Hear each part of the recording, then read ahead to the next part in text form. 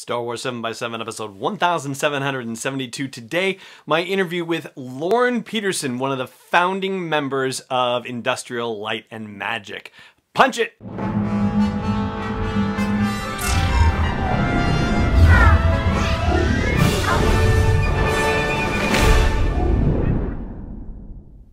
Hey, Rebel Rouser. I'm Allen Voivod, and this is Star Wars 7x7. Thank you so much for joining me for this episode where I'm going to share another one of my interviews from Star Wars Celebration Chicago.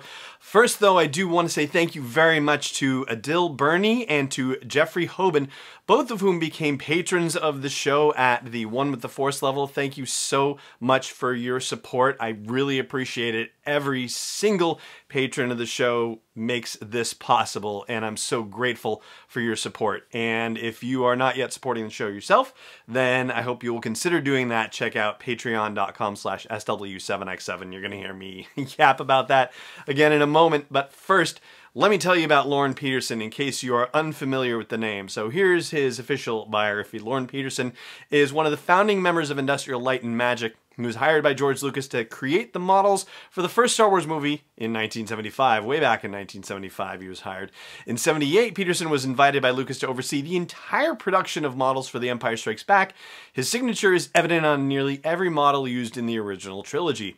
Peterson's work is also showcased in the entire Star Wars saga, Indiana Jones and the Temple of Doom, for which he won an Academy Award, incidentally, uh, Jurassic Park, Men in Black, Galaxy Quest, and the Pirates of the Caribbean films.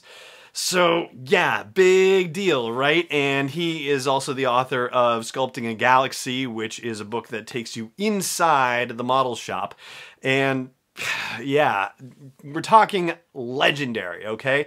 So he's just hanging out at Star Wars Celebration Chicago, which is amazing. And so I got the chance to talk with him. And it's funny because when I was doing these interviews, you know, the introductory thing was to say, what's your name and what's your Star Wars claim to fame?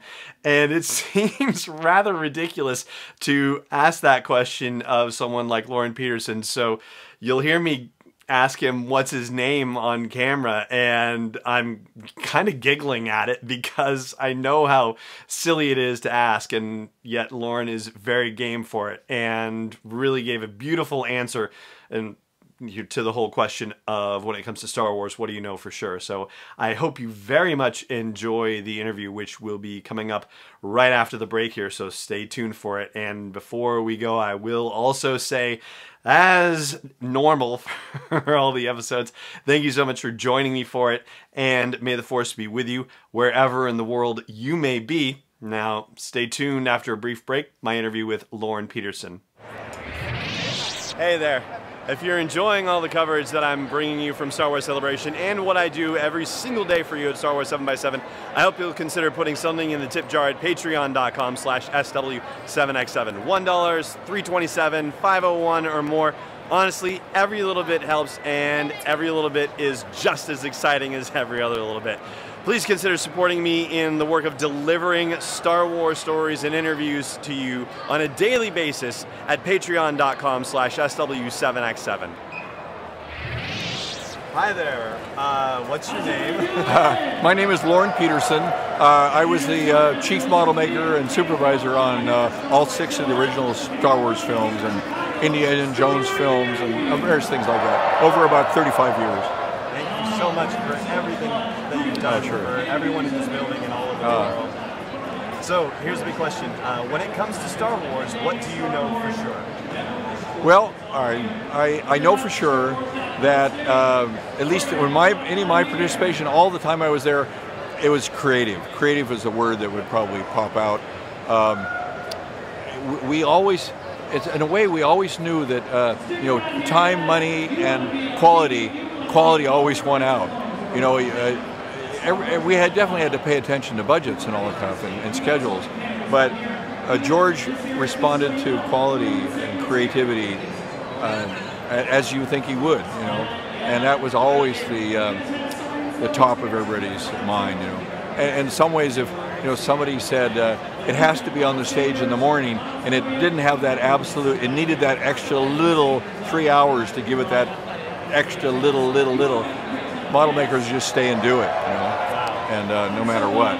They, they didn't want to be the one that put something that was compromised on the stage. And it was almost like amongst your peers too. Mm-hmm. You didn't want to have that happen amongst your peers. You know, you were doing this work that was kind of cl- more kludged together and wasn't as, as wonderful as everybody else was doing. But I, I was lucky. I got to I got to make things uh, over and over and over again for 30 some years with that kind of a feeling in it. You know, it had to be really interesting, creative, and, and new, and, and uh, new innovations, or using materials, having ways of doing it that were like another step up from what it was before, that kind of thing. But creativity would be the the word that you know you would probably put above Star Wars, creativity at all the levels of all the different people that were involved. You know, I the the building. Uh, ILM was just amazing, the, the variety of different people that had different skills and were creative at their own. You know, I, I use as an example, one time uh, I had gotten a lot of uh, uh, research uh, stuff from the library. Uh, we have a very complete library, and I wanted rolling stock or railroad stock in India in the late 19th century. And I wanted all the pictures and writing.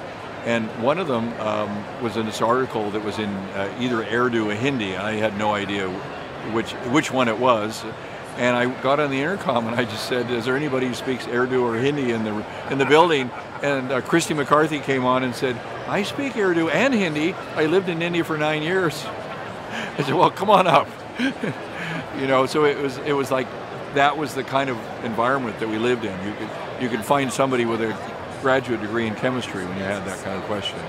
So uh, I would have to say that we had a building full of people that kind of bubbled uh, a creativity.